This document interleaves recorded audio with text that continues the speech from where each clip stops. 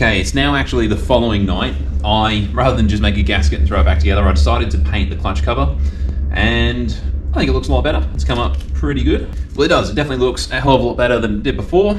So now we've just got to make this gasket and get it back on there, which all I'm going to use is this manila folder. You can get proper gasket material, but I think this is going to do the job. It's a very thin compressed cardboard, so it's it's pretty much a genuine gasket. Uh, unfortunately, you have got to actually cut it out.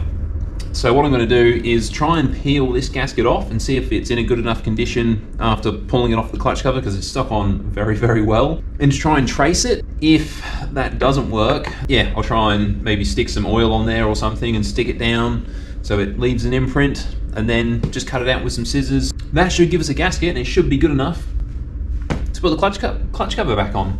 So I'll get stuck into that.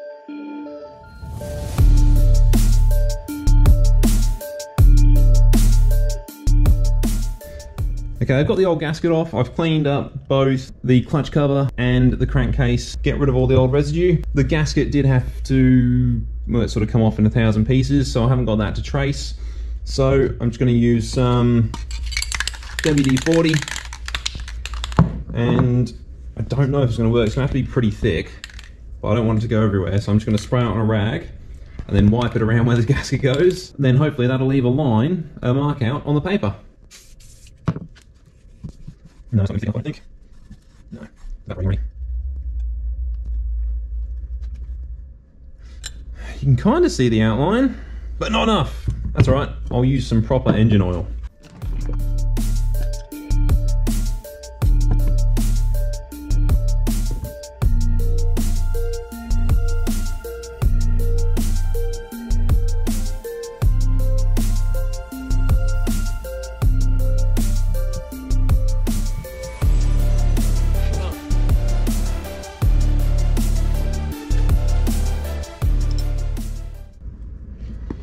Then I'll just run around with a pen as well.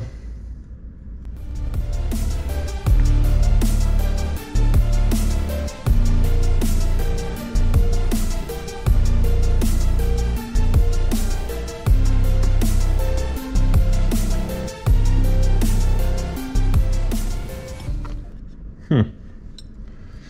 Okay, it's a bit dry there, and a bit wet there, but we'll be able to make that work. So now it's just as easy as cutting that out. You can use scissors or a razor blade, and then you should have your gasket.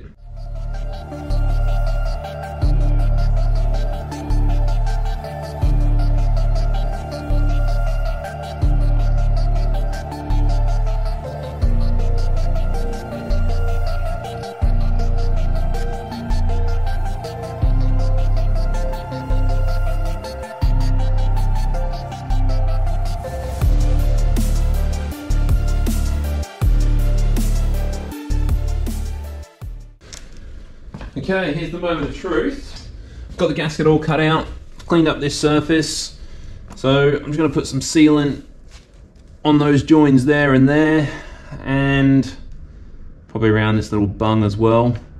Fortunately, our sealant's all dried up, so I've got a, in fact, I might grab a flat blade screwdriver to apply it with.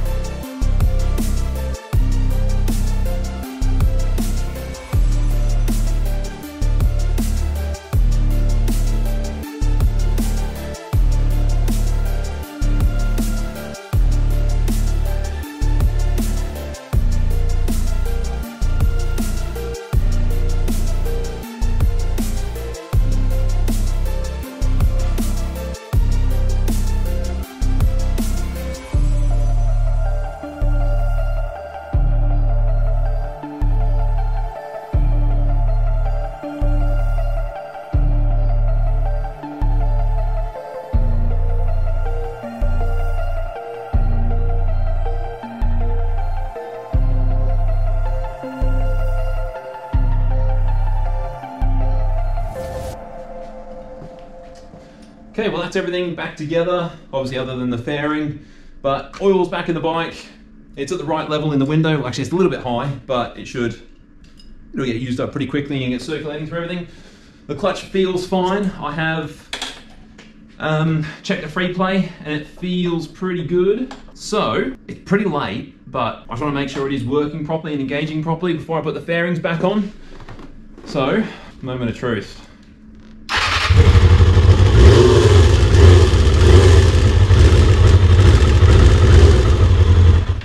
It's an old carby, so when it's cold, it's a bit rough. Just bear with me.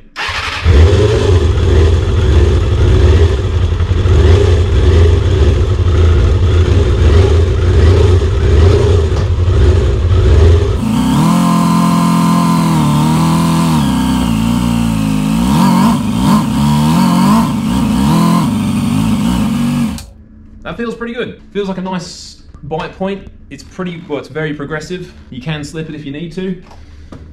So I think that'll be good. I think that'll be okay. I wasn't 100% sure about that clutch because those burn marks on those steel plates were pretty bad. I thought they could have been toast, but I think they're going to be okay. And the gasket, I hope that's going to be okay as well. I'll let it sit overnight, but I think I will put the fairing back on and clean up, and then tomorrow morning I'll take it for a ride and see if um, see if it has fixed it. I'll see you on the bike. Mm-hmm.